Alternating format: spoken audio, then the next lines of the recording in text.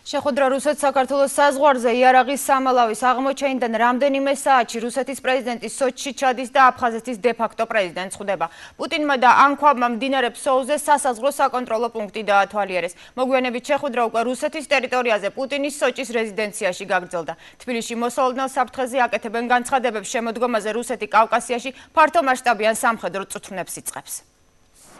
საქართველოს პარლამენტის დეპუტატები პუტინისა და ანქვაბის შეხვედრას აკრიტიკებენ და მორიგ საფრთხეზე საუბრობენ. პარლამენტის ტერიტორიული მთლიანობის აღდგენის კომისიის ხელმძღვანელი შოთა მალაშხია მიიჩნევს, რომ რუსეთი ვერ ახერხებს ოლიმპიადის გამართვას და საქართველოს სახით მტრის ხატს ქმნის.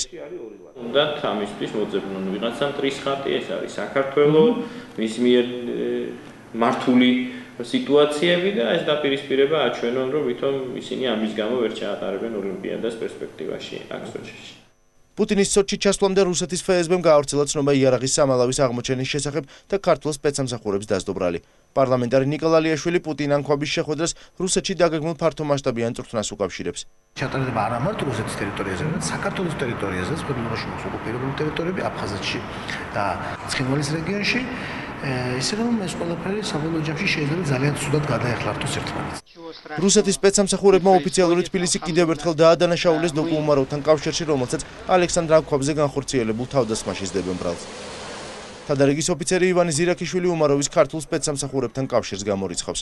თვითონ დოკუმაროვი უფრო ცნობილია რომ კავშირშია რუსულ სპეცსამსახურებთან, ვიდრე შემჩნეული იყოს ქართულ საქართველოს მთავრობას. ანკოპთან მოლაპარაკებების შემდეგ დაგეგმილია პუტინ თიბილოვის შეხვედრა. მიმოხილველები არ გამორიცხავენ, რომ ეს შეხვედრები დაკავშირებული იყოს დაგეგმილ წვრთნასთან, რომელშიც თავის მხრივ ჩართულნი იქნებიან აფხაზეთსა და ცხინვალის რეგიონში განლაგებული რუსული საოკუპაციო ბაზები.